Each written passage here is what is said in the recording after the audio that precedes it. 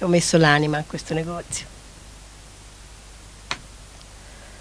Che dobbiamo fare? Quando siamo arrivati a un punto che veramente non è più possibile, bisogna prendere questa decisione. Chiude dopo oltre vent'anni una storica merceria retina ormai diventata punto di riferimento della centralissima piazza della Badia. Una scelta purtroppo obbligata ma la proprietaria ha deciso di pensare comunque anche agli altri. Dopo la svendita l'invenduto sarà infatti donato in beneficenza. Prima la pandemia, poi il caro bollette ed infine i rincari, troppo per reggere l'impatto. Tutto aumenta.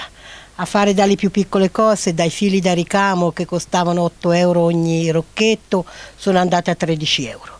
Di tessuti non se ne parla perché sono raddoppiati, la corrente, tutto quello che concerne le spese per andare avanti in un'attività.